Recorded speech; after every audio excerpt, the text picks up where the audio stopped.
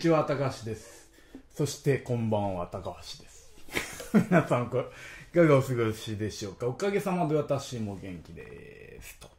いうことで、今日はね、ケイスさんのお悩みで、えー、今ね、ちょっとデモですね。ビヨーンってね、離したとき、左手の弦を押さえた指を離すとき、音が鳴ってしまうのが悩みです。抑える力が強すぎるのでしょうか？体験レッスンに行けるところに住んでいらっしゃる方が羨ましいですねということで K さんありがとうございます。YouTube でねマダム K さんというお名前であのコメントいただいてなんとねあの先日あかんこのアイヌコタンに行く行くと。そうですねあの浅草橋のピザ屋さんが木彫りの袋の写真を薫さんに見せてよって全然その薫さん名前しか知らないけどもたまたまね K さんがあの教材と CD を購入いただいたんであれ？住所近いなと思って聞くと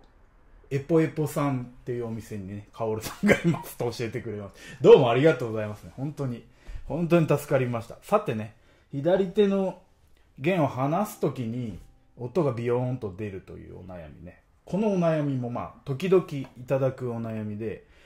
力が強すぎるというのもあるかもしれないですね。まあ半分ぐらいこれでも回答になってるんですけどもどっちかというと話し方のところが課題なんで今日はこのお悩みについて回答します。でまた体験レッスンに住んでるえー行けるところに住んでる方々羨ましいですねということで22日ですね。今度日曜日の体験レッスン。あと1名となってます。これまあえ番組のというかね終わりにもう少し細かく説明します。その次の翌週29日はこれもちょっと都内になってはしまいますけども、えー文京区のね、えーお祭りハロウィンのお祭りで演奏するんでそのお知らせも最後にします。ということで先にねこの抑えた力というか抑えた指離す時になっちゃう剣をどうやってクリアしていくかですね。まあこれなっちゃうこと自体は問題ではないですね実はね。右手でピッキングしなくても左手をこう強く叩き叩いたり勢いよく離すと叩けばこれ2フレットのレの音がちょっと出るし離す離し方によってはこれどの開放のどれどれレドレドレド出るわけですね。これはまあこの楽器ウクレレとかまあ現代的なフレットのある現代楽器のまあ特性というか宿命というかあの仕組み上起きてくることでこの仕組みの根本的な話をすると、まあ、最初開放弦でこの弦が振動する長さが決まっています。この振動する部分の長さを短くしていくと弦の鳴る音階が高くなるのでまあこれで調整しているわけですけども例えば2弦、うん、3弦2フレット押さえとレになるわけですね。ドだったのが押さえることで長さを振動する弦の長さを変えて右手で弾くっていう。まあ弦に振動を与える。1長さを決める。2、まあ、振動を与えるっていうこう12の働きでこれ左手を、まあ、使い方によっては2のピッキングとかねストロークに対する振動のあの役割同時にやると左手だけでも音が出る。この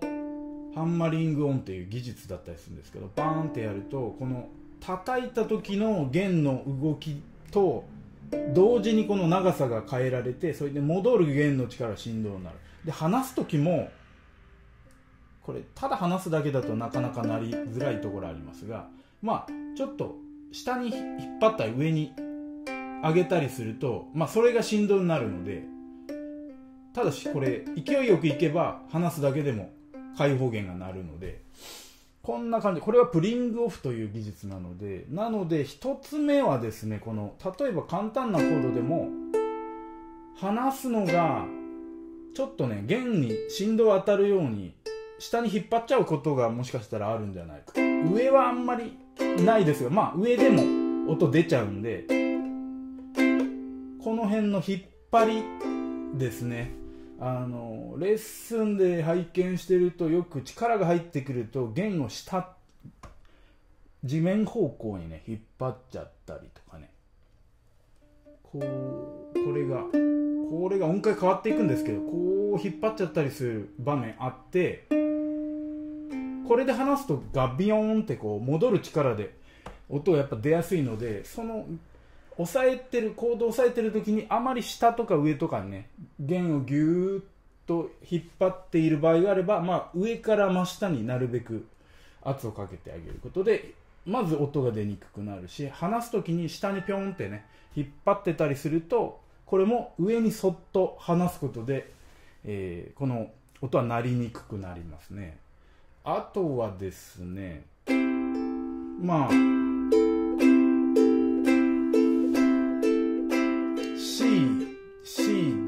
CCG7C か。CG7C この時に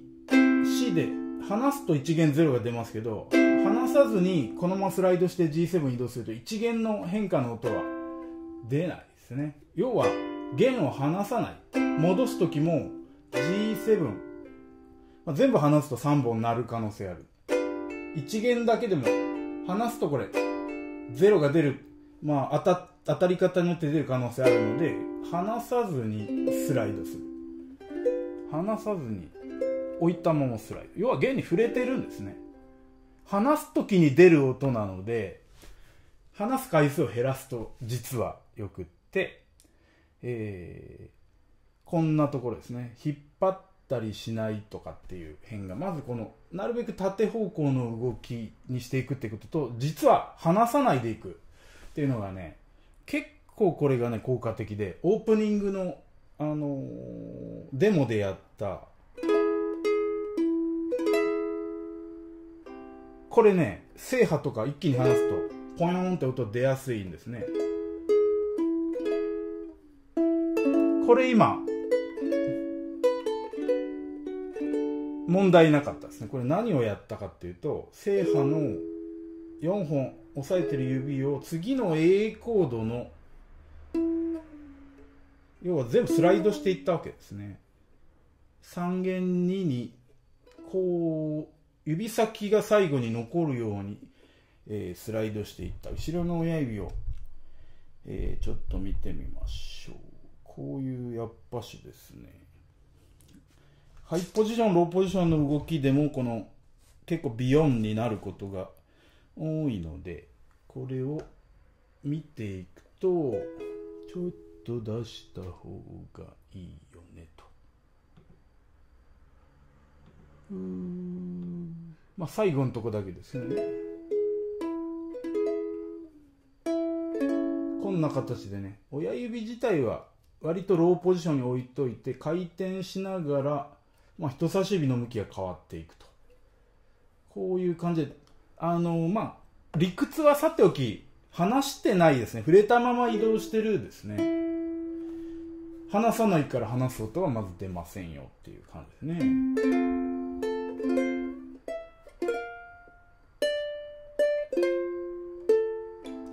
これ出ちゃうけど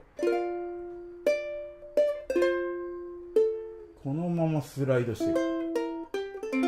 触れてると音が出ない。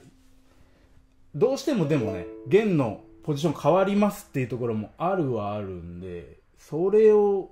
それでも触れる技術っていうのは実はありまして例えばまあ同じ曲ですね。浜辺の歌なんですよね。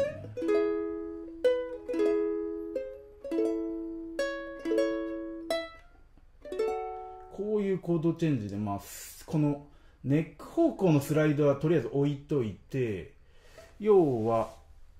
何が起きてるか。中指1個上。人差し指。4本から下2本っていう。こういう。こういう移動なんですけども。これもこっちから見るとね。離して下じゃなくてほぼこれ触れたのは下にずれる。だから第二関節がたくさん曲がって第三関節は開いていく。で中指についてもこれちょっとどけますけどビヨーンって離したら音が出るんですがそうじゃなくてこう、まあ、ちょっと今大げさになってますけど上移動に近い感じですねこういう感じだからこれが起きてるんですねこうだったものがずるりずるりなので音が出ないというねことがあったりします。うん。まあいろんなパターンがありますね。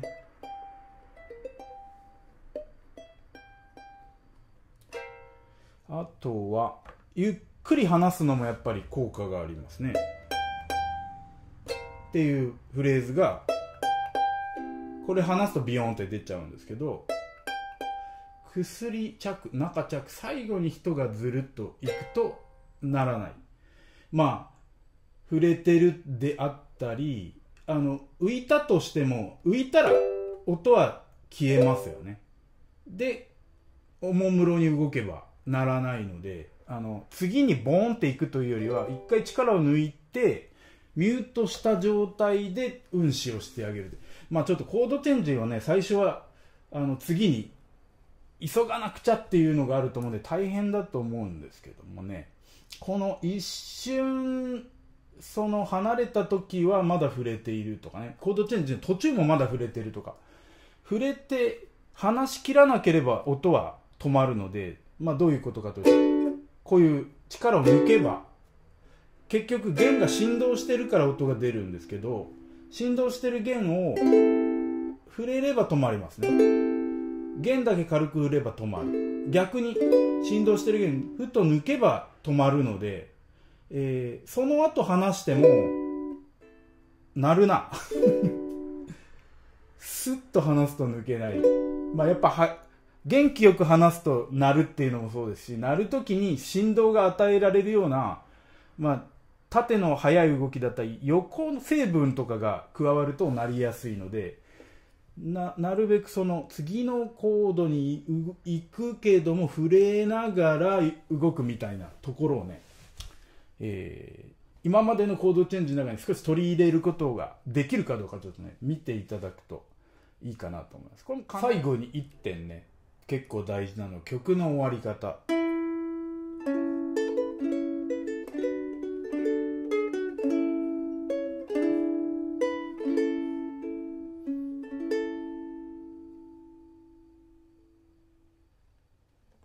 右手でしっかりミュートして終わってあげる。これを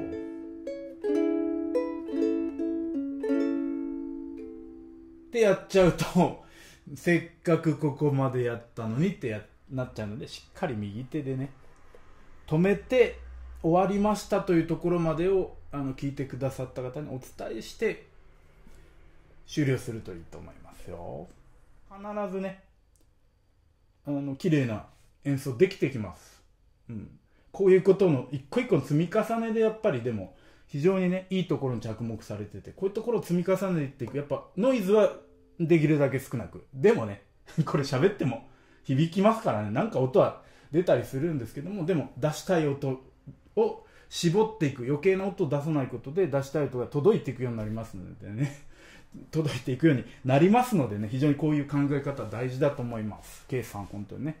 ありがとうございます。ということで最後にお知らせですね。こんな感じで、まあ、体験レッスンに行けるようなところに住んでる方が羨ましいという方形で、まあ、オンラインでもやってはいるんで、えーまあ、興味ある方はねまた教えていただければよくて、えーその22日日曜日東京四谷の12時半から開始体験レッスンあと1名様となっておりますので、えーなんだこんな風に教えてもらえるのかと。だったら弾けそうだよねという方はねあの概要欄に体験レッスンリンク貼っときますのでねぜひご覧ください。当日もね新しくお申し込みくださった方がね手が痛いとか肩が痛い背中が痛いとか力が抜けないっていうんで今日ちょっとねこのあのたすきのね紐をね追加で発注しましたのでねこれなんかも、えーお配りしたいと思ってます、まあこれが主ではないけども楽にななったりとかね力抜ける方向にあの助けてくれるんで、